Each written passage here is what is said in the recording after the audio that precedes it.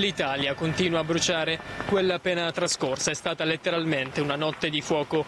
Piove e fuligine, l'aria irrespirabile, l'odore acre. Un lunedì nero da dimenticare. Incendi ovunque che hanno messo a dura prova Roma dal centro all'Interland. L'ultimo impressionante ieri sera sulle sponde del Tevere. Un grande incendio di sterpaglie nella zona di Parco dei Medici. Sempre ieri fiamme altissime sull'Aurelia. Esplose alcune bombole di GPL. Intossicate 35 persone con compresi quattro poliziotti, evacuate famiglie e perfino un centro estivo per ragazzi. Una donna e un bambino sono stati portati in codice giallo in ospedale. Fiamme poi vicino al grande parco di Villa Panfili, sulla Laurentina e in zona Osteria Nuova. Paura a Casalotti, dove i residenti di un palazzo sono scesi in strada e hanno gettato acqua dai balconi per tenere lontane le fiamme.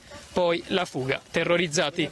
All'aeroporto di Ciampino per alcune ore stop ai voli in arrivo, tutti dirottati su Fiumicino, complice il caldo, anche oggi già in corso. Nuovi interventi per incendi a Roma e provincia, 350 i vigili del fuoco impegnati, in arrivo. Rinforzi da tutta Italia ma gli incendi non hanno colpito solo la capitale. Nel Barese in fumo 300 ettari di boschi, paura nel Chianti in provincia di Firenze, dove le fiamme hanno raggiunto alcuni agriturismi. Momenti di panico nel Casertano e nel Napoletano. Negli ultimi dieci giorni oltre 10.000 gli interventi dei vigili del fuoco per spegnere gli incendi, mille in più dell'anno scorso. La regione più colpita resta la Sicilia, 9.000 gli ettari bruciati negli ultimi sei mesi, un bilancio drammatico. Per la ministra dell'Interno Luciana Lamorgese questa è una durissima emergenza.